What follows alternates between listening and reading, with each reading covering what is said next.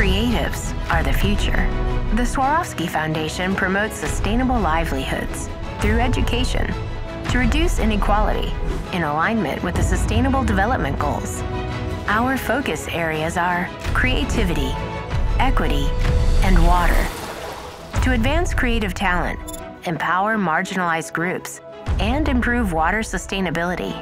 The Creatives for Our Future program empowers young innovators across creative disciplines with unique problem solving and critical thinking abilities to design new pathways for a sustainable future. The program cohort will receive financial support, mentoring, and educational opportunities.